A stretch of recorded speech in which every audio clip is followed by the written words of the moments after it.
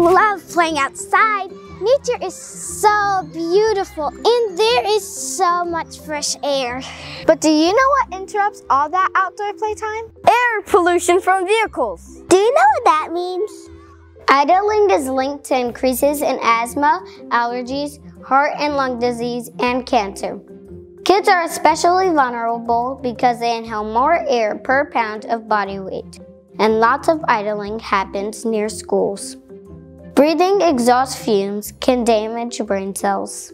While you're waiting, while you're waiting, while you're waiting, while you're waiting, while you're waiting, turn off your car. Shut off your car. Shut off your car. Desliga seu carro. Shut off your car. It's your turn. Turn it off.